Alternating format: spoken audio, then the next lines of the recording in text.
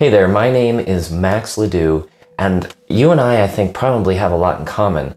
I work on a computer all day long, and in fact, I used to live in New York City and work in an office. But I had grown up in the countryside and I missed it, so I moved to New Hampshire.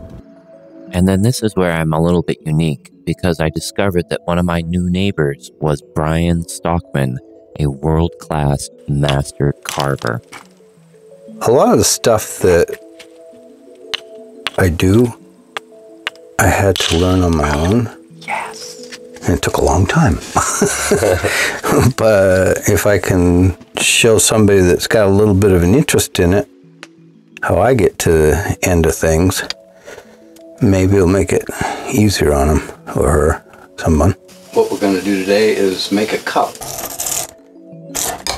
Probably the biggest trick to honing a blade is keeping the proper angle. It's pretty much done there. Hi, I'm Brian Stockman, and I would like to be your guide through some lost arts and forgotten crafts of the forest. So please subscribe to our channel.